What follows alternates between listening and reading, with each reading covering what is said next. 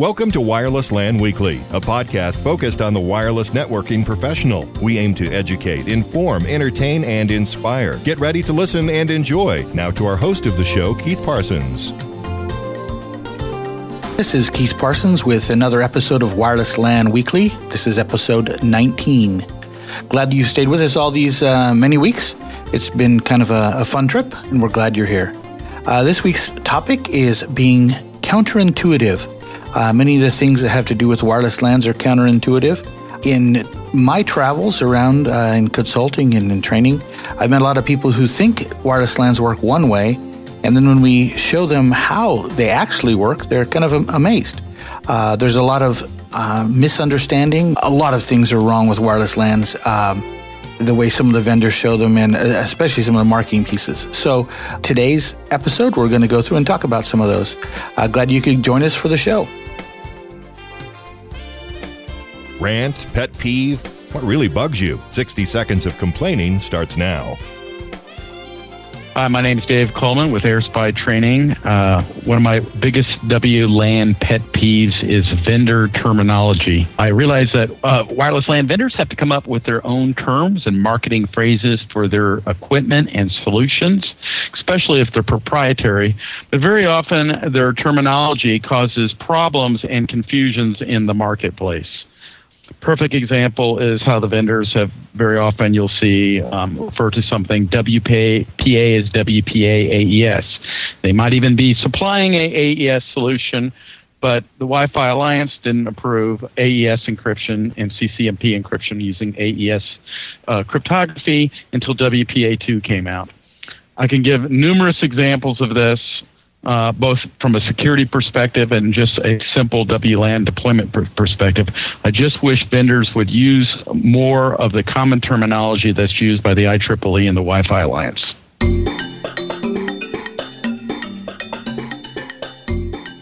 Things every wireless LAN professional needs to know. Gear up, buckle down, and stand by for the real techie stuff.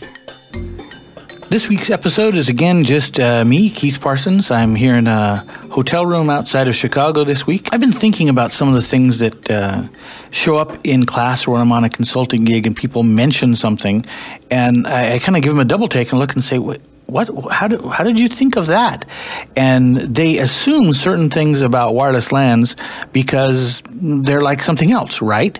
And so I couple weeks ago went out and uh, asked some friends on Twitter and on e- via email and met some people in person and talked about this idea of counterintuitiveness.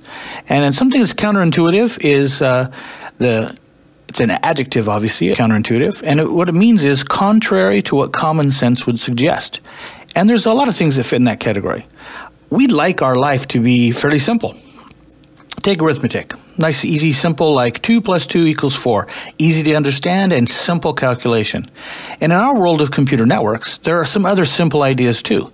For example, we have a link light on the back of an Ethernet NIC, and when the light is off, we know that there is a problem. The problem happens to be at the physical layer and perhaps at the MAC layer, but we know where to look because we have a simple link light that will tell us that. Now, if the link light is on and the network's still not working, we know where to not look. We don't need to look down the stack. We can look up the stack, and that'll help us do a little troubleshooting. It's a very simple, easy to understand concept, and we like those in our life. Our minds like thinking about simple, easy to understand things, but everything in life doesn't fit in that category.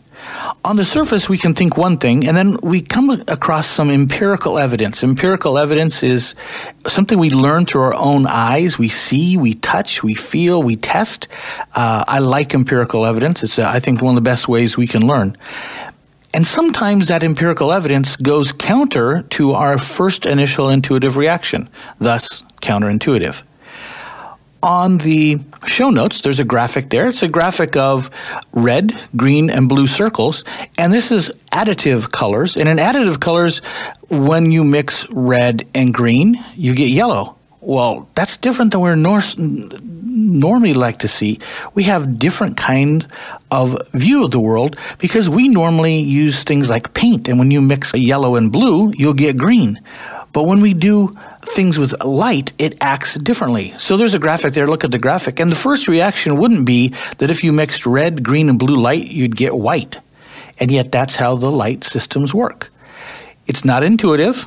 And then once you experience it, you go, oh, okay, yeah, it's even true. In other times, we have other situations, and our perceptions of how the world around us kind of distort reality. What we see looks one way, and then we look a little harder, we can see something else. An example of this is also in the show notes. There's a graphic. On the left side is a square box made of lines. And when you look at it, you can look and say, well, the box comes forward toward us, and the back plane is the back, or the side, or the top, or the bottom when we're looking from the top down. It's an optical illusion, and you don't know exactly what's going on. On the right side, there's another one there. I just put it there to mess with your mind. It's optical illusion that can't actually be made. But it's just to let you see that sometimes what we perceive isn't actually true. We have to do some evidence gathering to find out. Well, in this podcast, we're going to talk about some of the things that are counterintuitive with respect to wireless LANs. Oh, there are, there are many of these that we need as wireless LAN professionals to be prepared for those first initial intuitive reactions will oftentimes lead you to failure. So pay attention, listen through these, and let's talk some through some of the counterintuitive issues that I've come across. And if you come across any on your own, oh, please feel free to leave comments and feedback and send email. I would love to hear from you. Now, a lot of these came from uh, Twitter and email and some other conversations had with individuals. It is by no means an exhaustive study. It's just a place to uh, get you started thinking. In the show notes, there's also a picture of a prescription lid. And so it's just not us in wireless LANs that have issues. This one says close tightly, open, push down, turn, all these other things that when you look at it, you go, what am I supposed to do? And yet, once you know how to open a prescription, push down first and then twist to turn. And though it says close tightly on top, what it really means is, well, when you're closing, close tightly, but when you're opening, do this something else. And the same lid has to say this two different pieces of information. So let's get on to our list of counterintuitive issues with wireless LANs we don't have time in this podcast to go into the details behind each of these, but I do recommend if there's any of these that you run across, and you can uh, go to the show notes and read them slowly individually, or uh, as you're listening, you think, What? I do that one. Well, you ought to go and do some more studying and find out why. I'm a strong believer in that empirical evidence thing. Go and set up a lab, set up the situation, and test it on your own and see what goes on. Study, check the protocol itself out we live in a world with uh, wireless LANs with RF where we can't see RF. And because we can't see it with our eyes, sometimes we have to use other tools to help us give that information. Now, we're not quite to the range of particle physicists who also can't see what they're working on and have to find ways to get around it, but we're kind of headed that direction. So I recommend using the lab and seeing with your own eyes and experiencing each of these issues, and then you'll you'll kind of own it yourself. So the first one here, and the one I, I usually run across first is people are like, well, if we add more overhead, we'll decrease throughput. That's not always the case in wireless LANs. In fact, part of the protocol allows for something called hidden node reduction, and we use RTS CTS. And when you add RTS and CTS, that's a request to send and a clear to send packet. When you add those to your network, you're thinking that instead of us going data ACK, data ACK, data ACK, we're now going to go RTS, CTS, data ACK, RTS, CTS, data ACK. It definitely adds overhead. And yet, sometimes, if the situation is right, by adding overhead, we increase throughput. There's a lot of pieces in there. Uh, if we go into the Wayback Machine back into 1984, pretty good year, not a bad book, and the Apple Macintosh came out that year. In 1984, for $265, you could purchase an Ethernet card. That Ethernet card ran over twisted pair cable and got 10 meg throughput.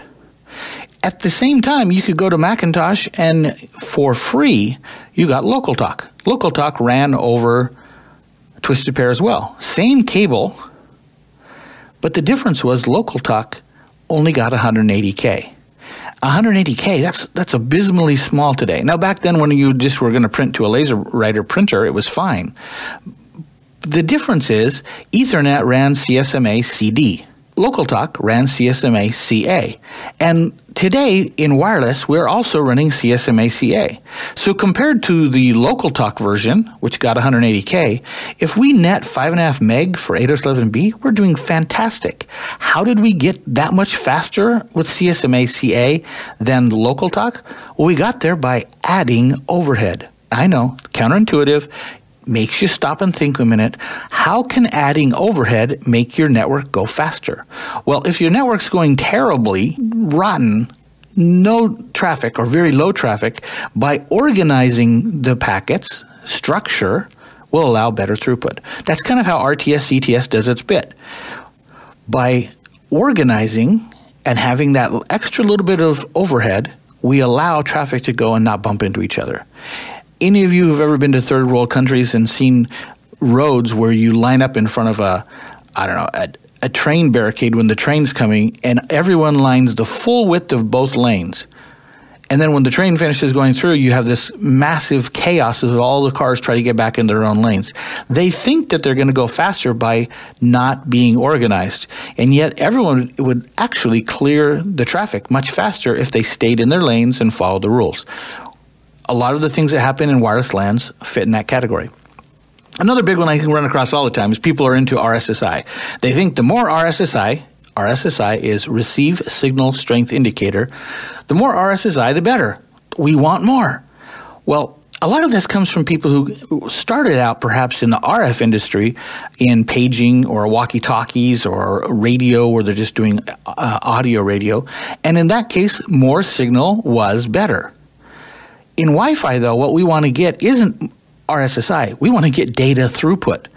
Sometimes having more RSSI will decrease your data throughput. Too much signal is just as bad as too little. Well, actually, it's a different bad, but we have a different kind of bad there.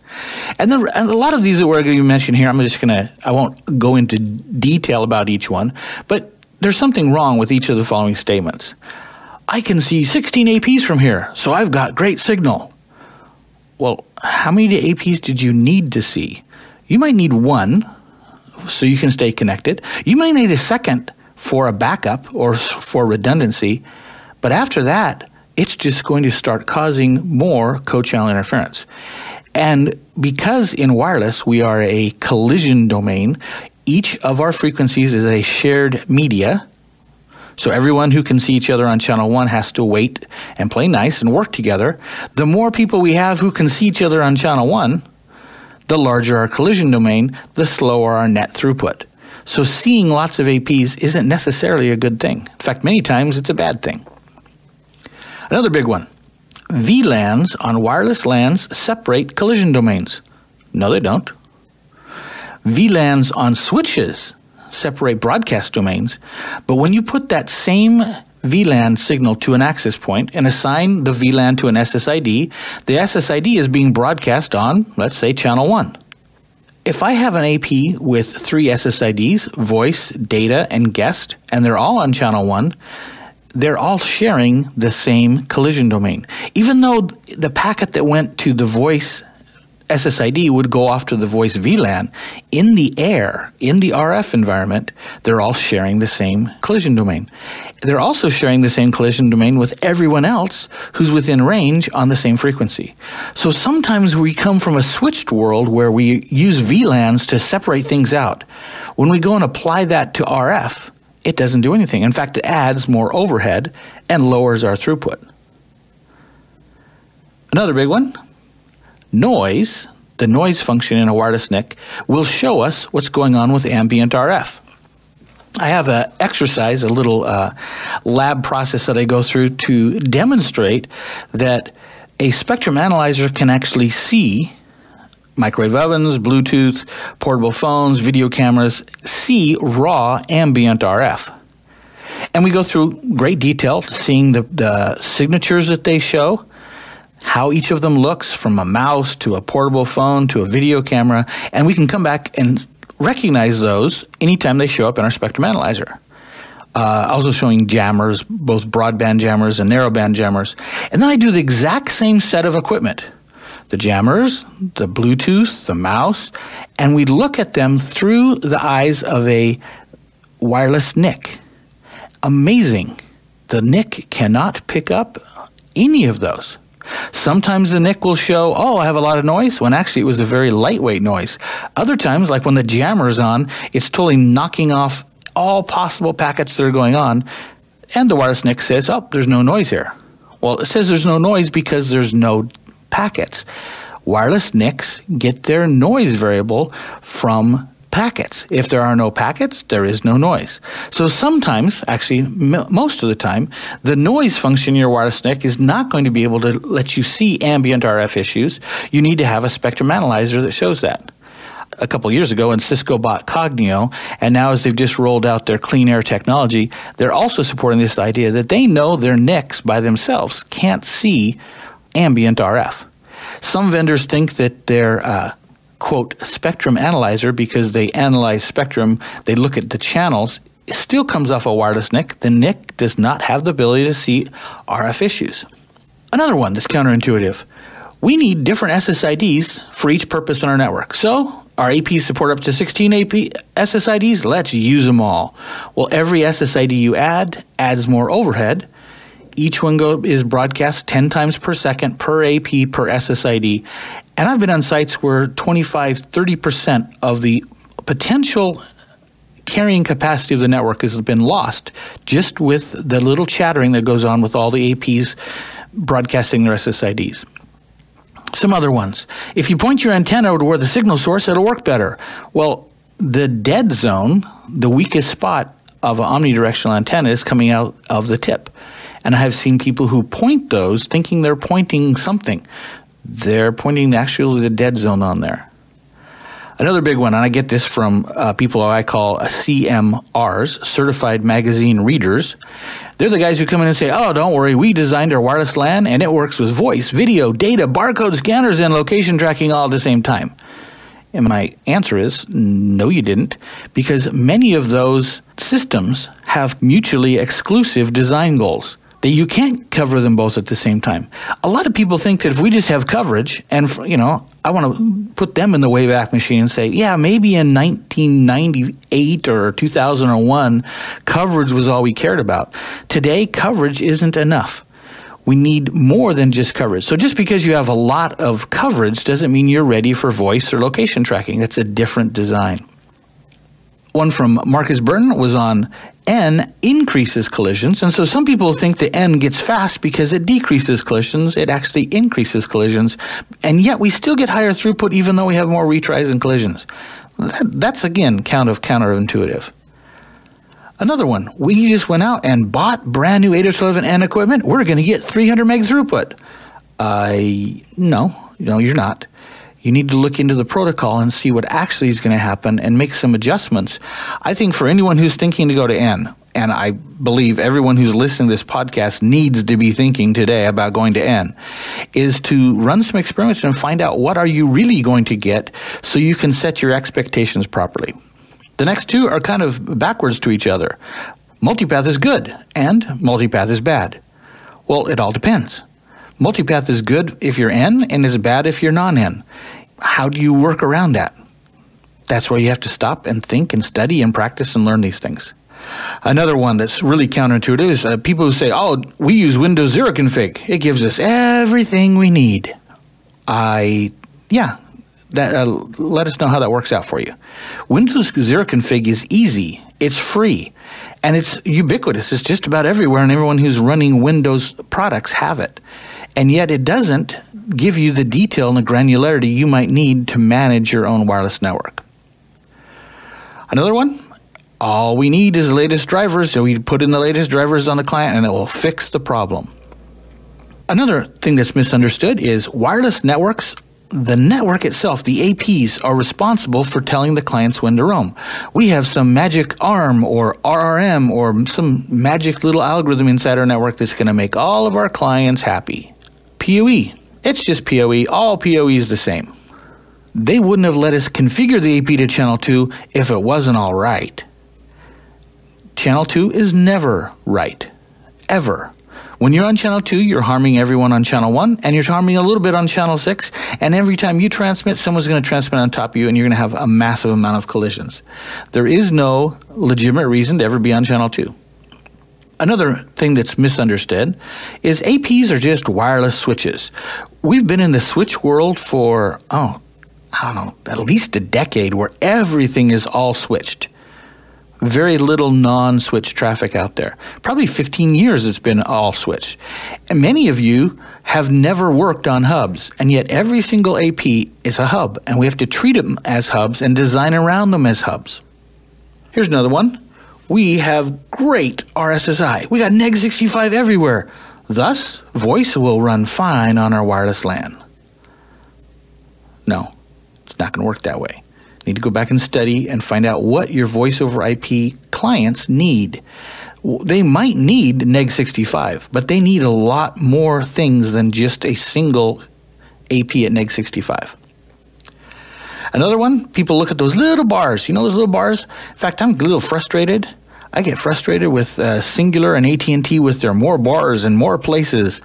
That has caused more trouble on wireless networks than anything I can think of. Humans, clients, not the NIC clients, human clients look down and see the little bars and go, oh, I have not very many bars, my network's bad. Or they see a lot of bars and they think it's good. Just because you have bars doesn't mean it's going to be good. And just because the bars aren't there doesn't mean it's going to be bad. It is a calculation, it is a reflection of somebody's algorithm. It's not exactly what's going on there. Well, I've been rambling on here now for, oh, 20 minutes or so talking about each of these things. The rest of them I'm not going to get into quite such detail on, but I do believe you need to think about them and see why they were added here. And all of these that I'm giving you had come from a variety, probably 20 different sources of people who've mentioned these things as something they've seen as counterintuitive. So, a couple of these coming out. It's better to have our APs on all channels than only on 1611 because on 1611 they'll have to share. The SSID is unsecure. That means it's easy for me to use. I should use it, right? AP's power settings go from 1 to 10. That's low to high. 90 dB is better than 40 dB because 90 is a bigger number. MB or MB, what's the difference? Capital M little lowercase b, capital M uppercase b. Oh, they just mean the same thing. APs are routers, they route on the network. I turned on QoS, so our voice is now going to work on our wireless LAN. We decided to put all of our APs on one channel to cut down on problems. Our APs are on 1611 only. Well, it all depends. Are you running SCA or MCA? And if you don't know those two terms, go look them up. There's an entire set of technology in wireless LANs dealing with single channel architecture and multiple channel architecture. And it's something you need to learn and look at. We like to use channels 1, 4, 8, and 11. That gives us more throughput. Or, we're in Europe, so we use 1, 7, and 13. We get to stay away from all those people on 1, 6, and 11 we need to increase the range of our network. So we added wireless range extenders, and now we'll share our throughput with more people. We must buy all our equipment from the same vendor. Now, that one actually could be true. It depends on your political uh, layer 8 issues inside your company. We can force our neighbors to go to different channels and turn down their power. More power equals more throughput. We had a problem in one location. Don't worry, we fixed it. We added more APs. And the final one today is getting RF coverage is hard to do. Actually, getting RF coverage is easy. Coverage is the easiest thing when it comes to designing wireless networks. Coverage is easy. When I teach an advanced wireless design class, I think I say the words coverage is easy at least 40 times in three days. Getting coverage is a breeze getting coverage that works properly. Now, that's what's difficult. So let's not think about all of these issues we just covered here. Go to the show notes, look at them, and see why they were included in this counterintuitive argument bit. If you've said any of these, or believe any of them still, I recommend going back to your studies. Set up your little lab configuration, try it. I am such a strong believer in empirical evidence. Go, try it, prove to yourself that these statements are either true or false. Now, they've been added here because a lot of people have thought they were false, but you need to prove it yourself. Prove it until you can have the validity yourself that you know that these statements are true or not. And then you'll be able to be a better admin, a better designer, and better able to troubleshoot your own wireless network. This was supposed to be a little reality check today. Just a check to see if you've been listening, if you've been tracking inside your wireless network, and if you've said any of these things, come back and take a look at it. Wireless LANs sometimes are counterintuitive. Thanks for listening. Elevator speech. Our guests have just two minutes to tell us all about their product or service offering. Ready, set, go. Training is essential to being able to perform properly in the environment. And without good training, you miss a lot of the theoretical side. You miss a lot of the stuff that has learned by others that is being transferred. So, vLogic and Wireless Training Solutions prides itself in being able to take experiences and, and turn that into knowledge transfer for the students. We do that in several different ways. The first way is that we provide on location training. The second way is that we provide online training. And the third way is that we provide on demand training. So, with the on location training, uh, instructors provide live services to a, a legacy classical style classroom environment. With the online classes, instructors still lead the classes, but through a distance education connection, uh, which uses a go to meeting style of a connection and a shared whiteboard and shared presentation materials. In our online classes, we also offer remote access into a live wireless training solutions network operations center so that using a VNC connection, students can actually take control of a, a large amount of industry recognized equipment wireless LAN equipment such as wireless LAN controllers, wireless LAN access points, wireless intrusion prevention systems, and uh, many other types of resources that are difficult and expensive to attain on one's own. On the on demand classes, students can actually take part in the same type of classes that are are listed and available for instructor led, but they can take them on an as needed basis. In some cases, they can take them uh, uh, chapters at a time. You can contact us at wirelesstrainingsolutions.com which is the online store and training center student support area for vLogic Incorporated.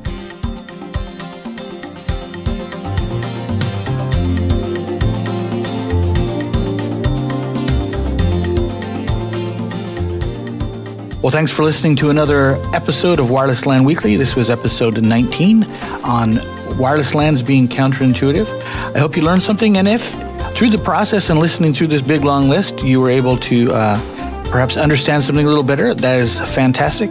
If after listening to these, you can think of other uh, silly statements or uh, things that are being misunderstood currently with wireless LAN, you might have some more of your own. Or if you want to uh, discuss any further about any of the ones we talked about, go to the comment section and leave your comments there. Thanks, and we'll talk to you again next week. Wireless LAN Weekly, a podcast focused on the needs of wireless LAN professionals. We look forward to your feedback. Please leave your comments at the bottom of the show notes or email feedback on the show can be sent to feedback at wirelesslanprofessionals.com. If you'd like to leave a voicemail feedback, just call 24 7 and leave a message at 1 801 481 9018. Until next time, this has been another production of wirelesslanprofessionals.com, a place to educate, inform, entertain, and inspire.